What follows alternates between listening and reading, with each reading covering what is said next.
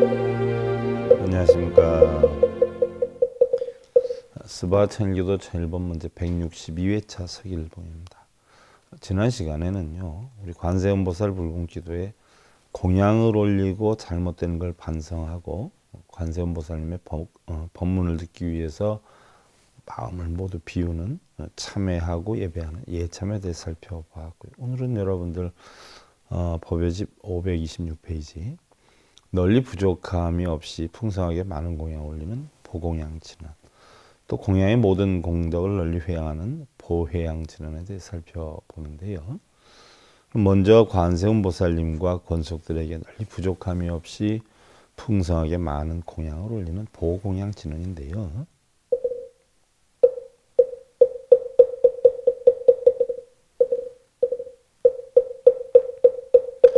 오공양지는 홈마하나 삼바바바라. 홈몸 하나 삼바바바라. 홈 홈마하나 삼바바바라. 홈 반드시. 오늘부터 금강 같은 지혜를 실천하여 깨다 름을 이루겠나이다. 부족함이 없이 넉넉하게 공양을 올리면서 반드시 오늘부터 금강과 같은 지혜를 실천하여서 깨달음을 이루겠다라고 다짐을 하는 것인데요. 달마대사께서 이르시기를 마음은 모든 만법의 근본이 되는지라 일체 모든 법은 오직 마음에서 생겨나는 것이니라. 만약 너희 마음을 알면 만 가지 행위 다 갖추어지게 되느니라. 비유하면 마치 큰 나무의 가지와 꽃과 열매는 모두 뿌리를 근본으로 삼는 것이니 나무를 잘 가꾸려면 뿌리를 잘 살려야 하고 나무를 없애려면 뿌리를 제거해야 죽는 것과 같느니라. 만일 마음의 이치를 알아서 돌을 닦으면 공을 적게 들여도 힘을 적게 들여도 쉽게 돌을 이룰 것이요. 만일 마음의 이치를 모르고 돌을 닦는다면 노력을 많이 해도 아무런 이익이 없느니라.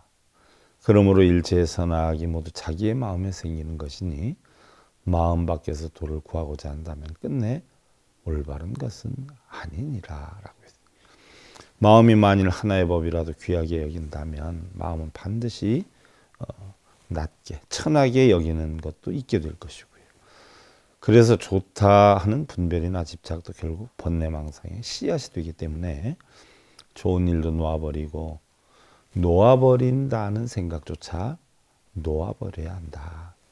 마음은 물질에 머물지 않으며 물질 아닌 것에도 머물지 않고 마음은 머무는 것에도 머물지 않고 역시 머물지 않는 것에도 머물지 않느니라. 라고 하였죠. 다음은 이제 공양을 올리는 모든 공덕에 널 회양하는 보회양 진어인데요.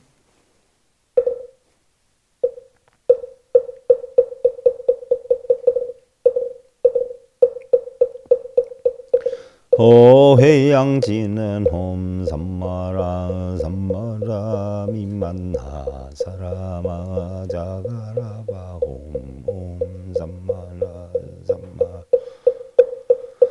미만나 사라마 자가라바 홈 삼마라 삼마라 미만나 사라마 자가라바 홈 살피고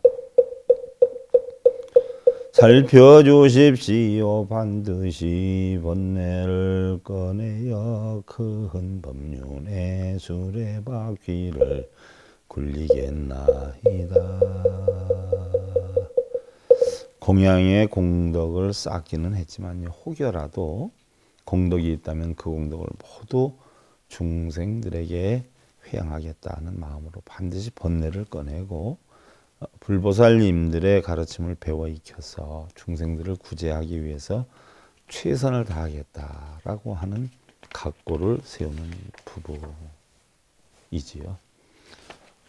어, 벽암록에 보면은요, 좋은 일이 있는 게 좋은가라는 화두로 해서 호사 불 여무다라고 하는 그런 화두가 나오는데요. 어, 일반 사람들은 대부분 좋은 일들을 바라죠. 뭐 알고 보면 어, 그 좋은 일이라라고 하는 것도요. 어떻게 보면 있는 이만 못하다라고 하는데요. 생은 살을 만들어요. 행복은 불행을 만들고 기쁨은 슬픔을 만드는 것이기 때문에 알고 보면 생이 사고 행복이 불행이고 기쁨이 슬픔인지라 좋은 일도 결국은 아, 인과를 만드는 것이기 때문에 걱정 근심의 원인인 집착이다라고 하는 것이죠. 공 가운데에도 어, 냉정히 보면 공 가운데에는 어, 색 수상 행식도 없고요. 또 눈기 코요 몸뜻인 안이비설신의도 없고요. 반야심기에 나오는 대목이잖아요. 무안이비설신 무색성량 미촉 그죠? 어, 물질 소리 냄새 맛 감촉 법 이러한 색성량 미촉법도 없다라고 하는 이런 지혜만 우리가 깨닫기만 한다면요. 탐내고 성내고 어리석음도 없고 또한 성내고 탐내고 어리석음에 빠지는 중생도 없게 되는 것이기 때문에 이제라도 우리가 알게 모르게 지은 탐진치를 없애고 두 번 다시 그러한 삼독심으로 인해 일어나는 무명을 없애겠다라고 하는 다짐과 각고의 소원을 세우는 것이죠. 삼독심의 무명을 깨뜨리 기원드리면서요. 바른 불법, 바른 진리 전하는 SI 불교 교육 방송 스바 천일교도 천일법문 제 162회차 서결봉이었습니다.